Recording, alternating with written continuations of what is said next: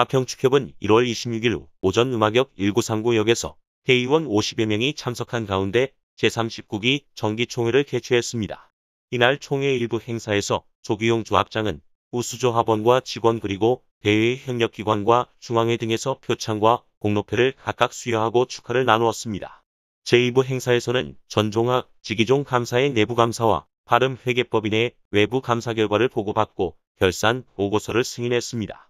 또한 비상임이사 선거 투표를 실시한 결과 설악면 이성우, 조종면 권봉근, 상면 여장현 후보는 단독 후보 등록으로 무투표 당선되고 가평읍 장동남, 북면 현정우, 청평면 김범찬 후보가 투표 결과 당선되어 당선 소감을 발표하며 축하를 받았습니다. 가평 수산농협은 내외부에서 신뢰를 받아야만 큰 자산이라고 생각합니다. 이 세 가지를 제가 몸소 실천해서 우리 조합원분들의 자산을 꼭 지켜드리겠습니다.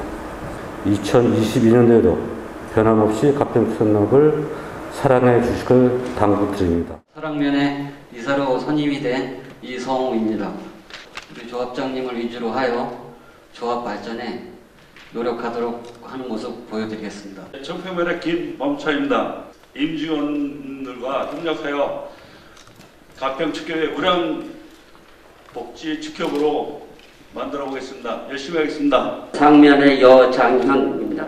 가평축협의 조합원들의 단합과 가평축협의 건전한 발전을 위해서 열심을 다하겠습니다. 감사합니다. 조정면의 권봉근입니다.